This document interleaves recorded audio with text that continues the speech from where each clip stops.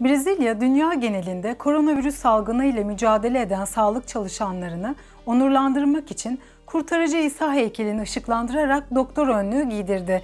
Dünyanın dört bir yanından farklı dillerde teşekkür ederim mesajlarını yansıtıldığı kurtarıcı İsa heykeli ülke bayraklarıyla da aydınlatıldı.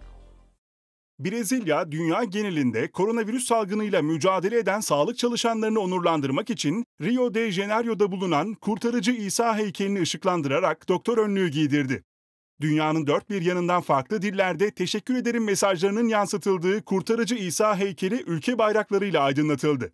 Ekran salgın döneminde ön saflarda mücadele eden sağlık personellerine teşekkür etmek ve umutlarını tazelemek için tasarlandı.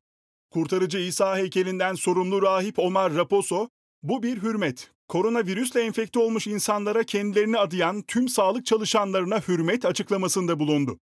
Sağlık çalışanlarının yaratıcı fikirleri hastaların endişelerinin azalmasını sağlıyor.